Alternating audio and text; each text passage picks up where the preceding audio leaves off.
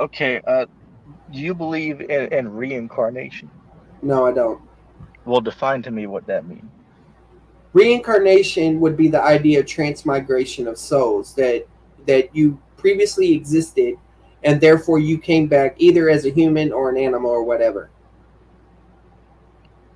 Well, well, let me let me clarify this real quick. Uh, my position on reincarnation is, is the one you described. That's like a Hindu belief, uh, which I I'd agree that's totally going off Right. believing believing that um that you know a human can die and come back as like a cow or, or an alligator or a fly or something. Yeah, that's obviously false. However, the idea that a person can die but then in the future come back uh, again as a person, you know, I do subscribe to that uh, belief, and I do believe it there are plenty of places in the Bible that do support um, some type of uh, reincarnation uh, taking place. I, I, I Um, disagree, but go ahead. Okay, I, I- I know you disagree, but that's why I'm going to challenge your viewpoint on it. Let me give you an example real quick. Um, John the Revelator, he died on the island of Patmos. You could agree with me on that? Yes. Okay, cool, cool. So, um, so after he writ the revelation, you know, he didn't escape that island. He died there, right? He didn't get a chance to teach before any other peoples. Yeah, there's different there's different views about it. Some say he was boiled in, in oil. Others say that he uh, just died in peace as an old man. Okay, but but you you'd agree that he died on that island where he was imprisoned to, right? Well, I agree he's dead. And let's just say that. Okay, cool, cool. So here's the question, right? If if he did die on the island, he didn't get a chance to, you know, spread the gospel or prophesy before anybody else with what he was given. So here's a question for you. Revelation chapter 10. I'll go to verse um let's go to verse 10. It says, And I took the little book out of the angel's hand and ate it up, and it was in my mouth sweet as honey. And as soon as I had eaten it, my belly was bitter. And he said unto me, You must prophesy again before many peoples and nations and tongues and kings. Now, we agreed that he died after he got the revelation. So, my question for you Oh, ho- hold on, hold on. What do you mean he died after he got the revelation? Are you saying that he got another revelation after he died? Is that what you're saying? No, I, I'm saying maybe I maybe I misspoke or maybe you misheard me. I, I said after he received the revelation, he died on that island that he was on, the island of. Well, he died like humans die. Let's put it that way. Right, right. So, so again, I'm simply asking you, well, when did he get a chance to prophesy before many people? Okay, well, well, first off, first off, uh, I think that's a misunderstanding about the the, the book of uh, uh, Revelation. All right, number one is when John is writing the letter, he's already had the vision. Okay, so he's writing Jo- uh, the book of Revelation, and it does have prophecy in it, but it's also an epistle. The epistle was sent to those seven churches, that, and that's the circular route that's in there. So he sent other people ahead of it and everything. What it probably means, and I don't know if it is referring to John, I would have to look at it in context, is that it's just talking about you have more work to do before you die.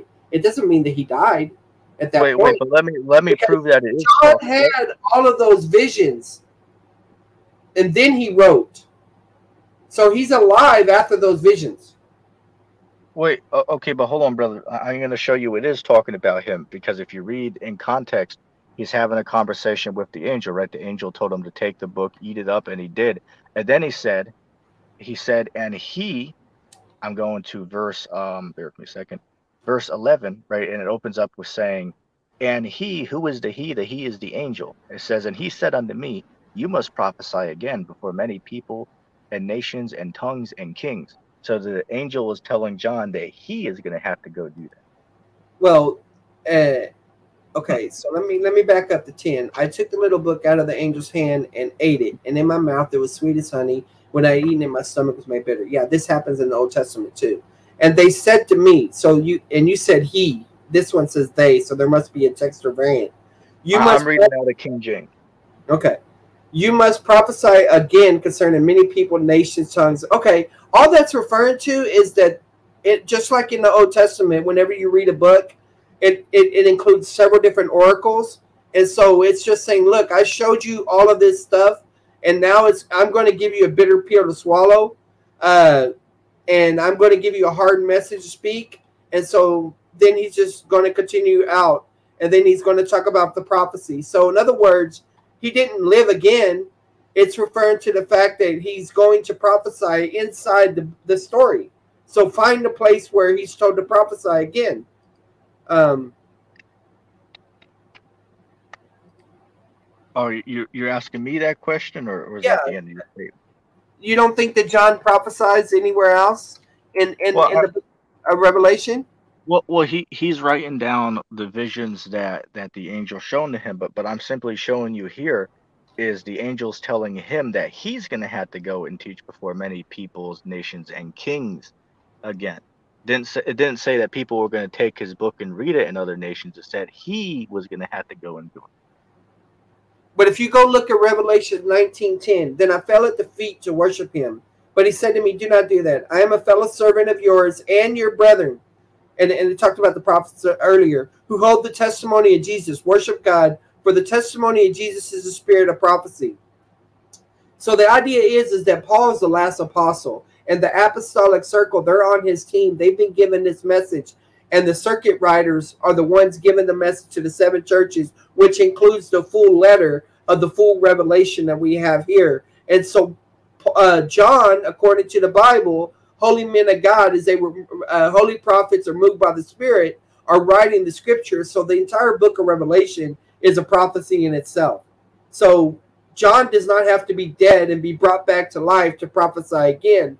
This is just describing either two additional content that he gives in this vision uh, sequence, or it's referring to the fact of the, pro- the that he still has ministry before he physically dies. This is very similar to what Jesus told Paul that there are many people that uh, you're going to be testified for or whatever, you know, and and all of that stuff. Uh, you're my chosen vessel and all of that. That that's just the focus of it. It's not saying John is going to be brought back at the tribulation or some other time uh, like that. Okay, but if you want to say. John's going to be brought back, he's going to be brought back in the same way Moses and Elijah would be brought back. And they're dead. They have spiritual bodies. They don't have physical bodies like us. But I don't even believe that Moses and Elijah technically are going to be brought back as humans. I believe that they're going to be two witnesses, and their ministry is similar to that, just as John the Baptist's ministry was similar to uh, Elijah and was called to be in the spirit of Elijah. Okay, well, we'll we'll conclude on that particular verse. I got another one for you. Uh, Okay. We'll go to Daniel, actually, Daniel chapter 12, and we'll go to verse 13. It says, But go thy way till the end be, for thou shalt rest and stand in thy lot at the end of days.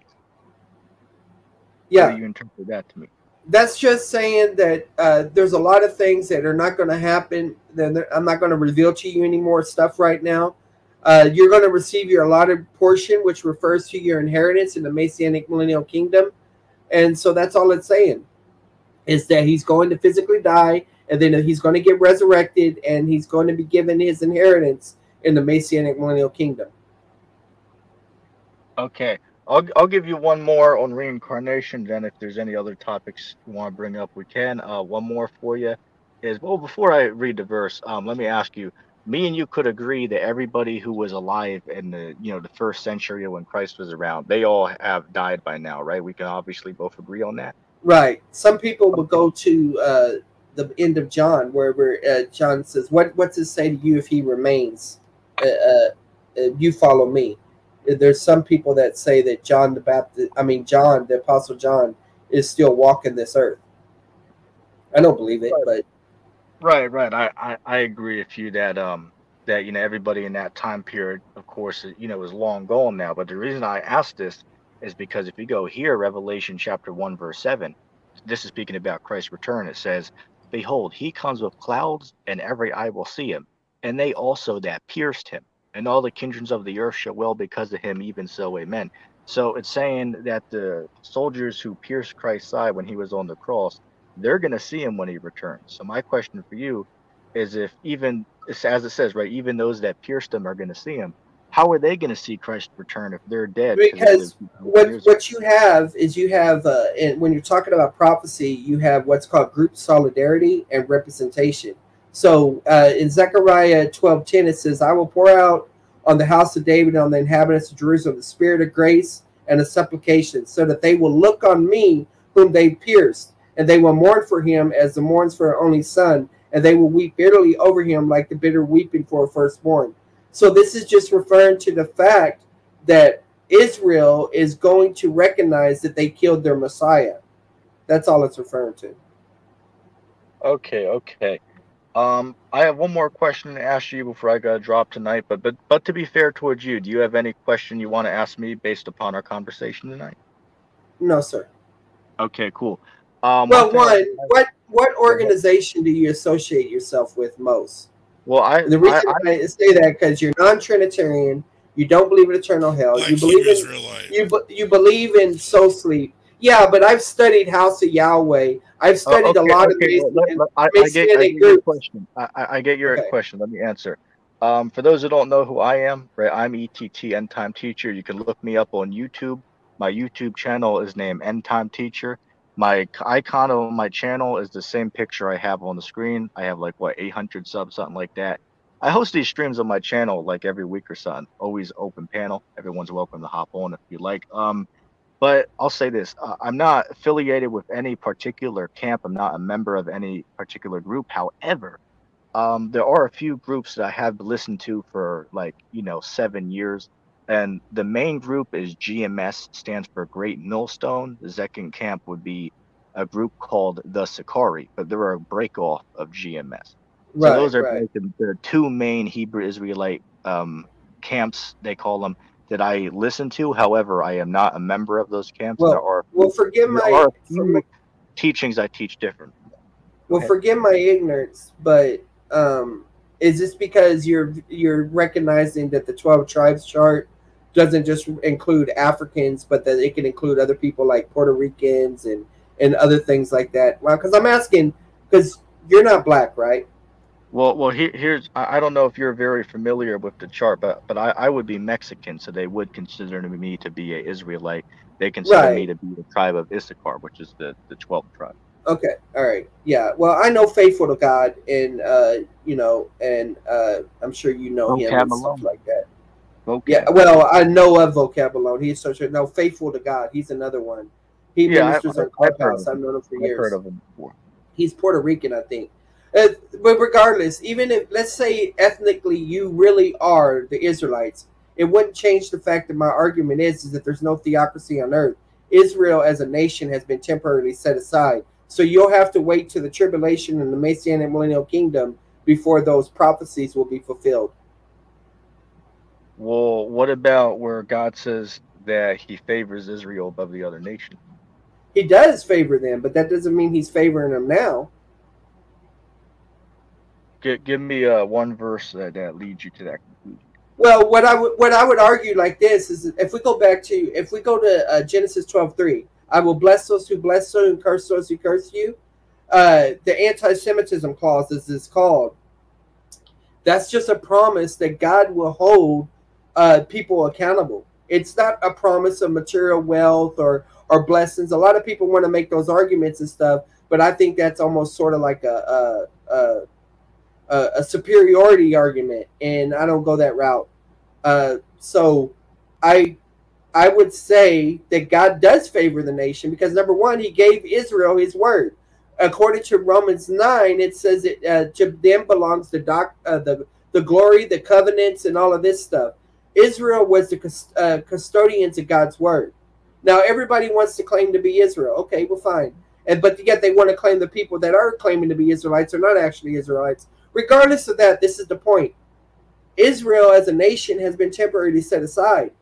So you are a pilgrim and a sojourner in this world, and you won't receive that inheritance into then. And furthermore, if you do believe that the body of Christ, the church does exist, you're added to the body of Christ at the moment you believe. And so what that means is that you have an inheritance within the church now.